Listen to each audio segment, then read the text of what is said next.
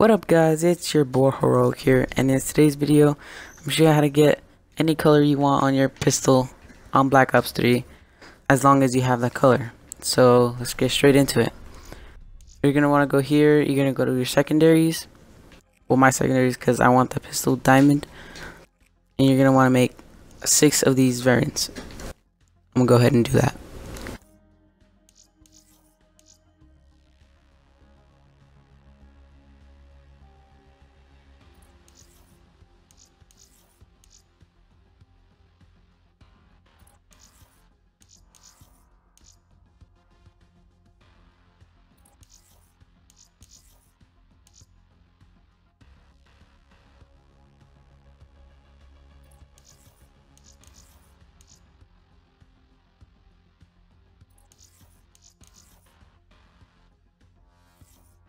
So once you do that, you're gonna go over to your uh, my SMGs.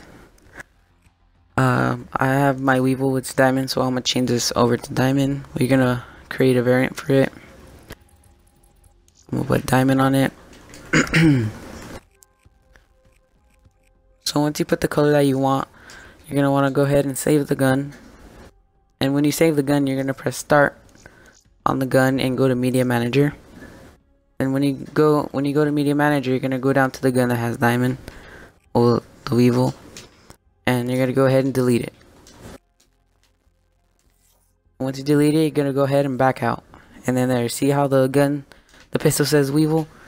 So you can go ahead and press A or X and go to the um the color that you want and go ahead back out and save it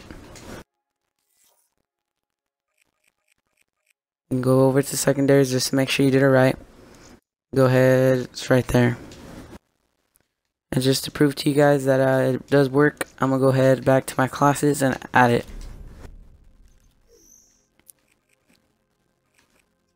Um, thanks you guys for watching. Please subscribe and I'll catch you guys in the next video. Peace!